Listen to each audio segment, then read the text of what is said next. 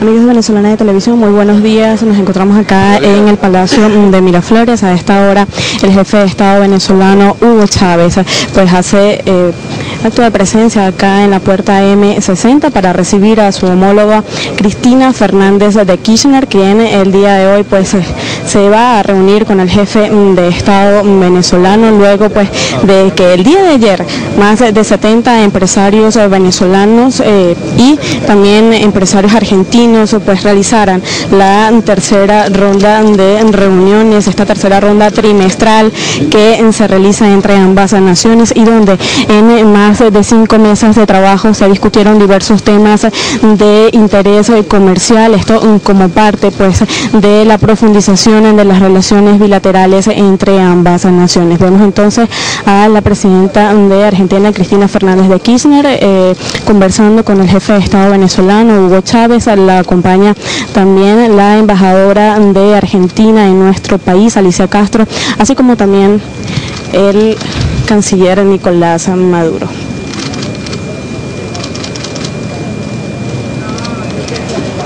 Por supuesto, pues eh, a esta hora se le van a rendir los honores correspondientes a la alta investidura de ambos mandatarios acá en el Palacio Remira Flores. Recordemos que entonces de esta tercera reunión trimestral.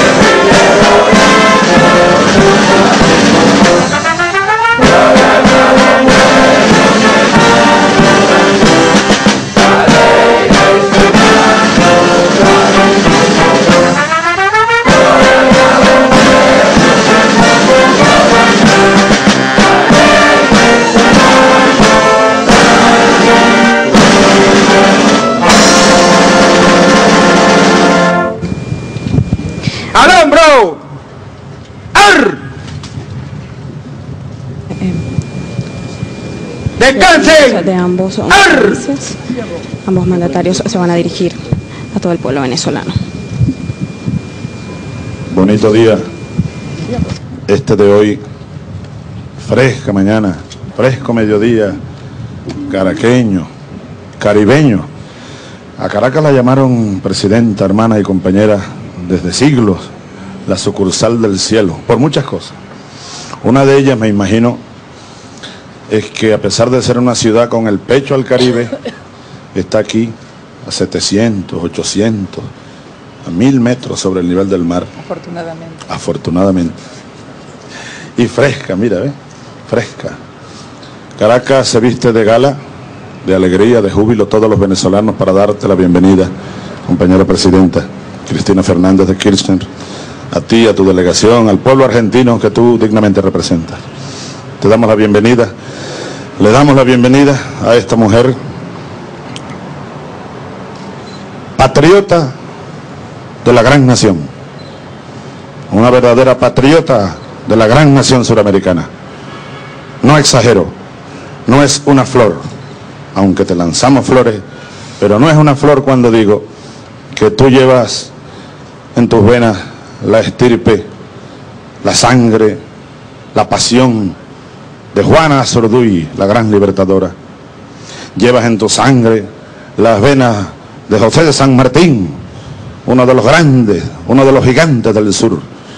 Llevas en tus venas la sangre de Eva Perón, la infinita Eva, nuestra amada Evita, ejemplo de dignidad, de batalla y de lucha por la liberación y la unión de nuestro pueblo. Llevas en tu sangre a Perón, al gran Juan Domingo Perón. Los hijos de Bolívar te damos la bienvenida con todo nuestro corazón. Bienvenida, compañera. Bienvenida, hermana. Muchas gracias, presidente. Gracias por dos cosas, por esta mañana fresca, muy fresca, por cierto, y por las cálidas palabras, hermosas palabras que me acabas de dedicar y que en verdad la siento muy a fondo porque todos esos patriotas que mencionaste, Juana Zurduy, a la que Bolívar hizo coronela y esta presidenta generala de la nación, José de San Martín, Eva Perón, Juan Perón y tantísimos otros, miles anónimos, que construyeron libertad, construyeron independencia, construyeron justicia y también muchas veces pagaron con su vida y con la deshonra y el olvido haber precisamente sido abanderado de esas causas. No es fácil en estas tierras luchar por la libertad, por la independencia y por la justicia. Se recibe más palos que otra cosa cuando uno lucha por estos ideales. Pero bienvenidos sean los palos, porque en definitiva lo que nos hará trascender en la historia no es lo que digan hoy, sino lo que digan mañana los que nos recuerden en nuestro paso por esta historia fugaz en la cual ocupamos un lugar de lucha, un lugar de combate por esos ideales, libertad, justicia e igualdad.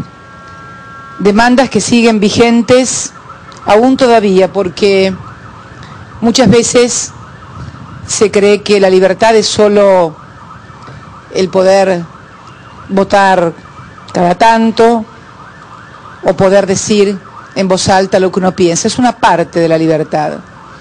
Pero la libertad es también poder decidir qué vida va a tener cada uno de nosotros. Y hoy hay millones y millones de hombres y mujeres en la América del Sur y en el mundo entero que no pueden decidir su vida, sino solamente la vida que le dieron. Tal vez por haber nacido en un hogar pobre, tal vez por no haber, tener, no haber tenido estudios. Por eso creo que el compromiso de todos quienes tenemos el honor de representar a nuestros países es seguir con esas banderas en alto, las banderas de la verdadera libertad, de la verdadera justicia, de la verdadera igualdad, en definitiva, de la verdadera democracia.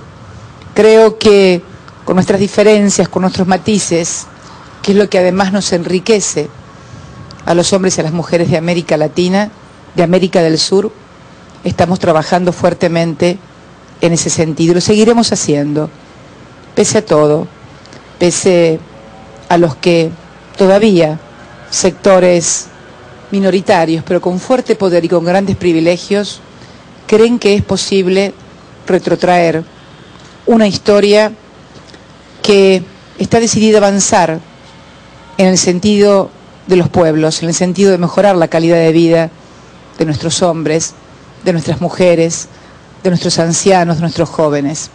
Estamos todos comprometidos fuertemente en estos objetivos. Y este encuentro de hoy, este encuentro bilateral, tiene por objeto precisamente profundizar esa integración imprescindible, necesaria, para poder llevar adelante esos objetivos. Por eso, muchas gracias por esta bienvenida, muchas gracias por esta cálida recepción de todo el pueblo venezolano y una vez más, gracias por el cariño, el amor y la amistad que el presidente Hugo Chávez y Venezuela, la República Bolivariana de Venezuela, tienen por Argentina y su pueblo. Muchas gracias.